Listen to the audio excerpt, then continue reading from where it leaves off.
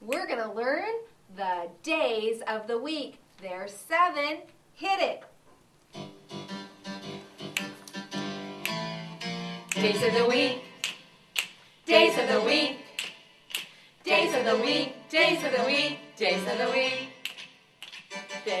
Sunday and there's Monday. There's Tuesday and there's Wednesday. There's Thursday and there's Friday. And then there's Saturday. Days of the week. Days of the week. Days of the week. Days of the week. Days of the week. There's Sunday and there's Monday. There's Tuesday and there's Wednesday. There's Thursday and there's Friday. And then there's Saturday. Days of the week. Days of the week. Days of the week.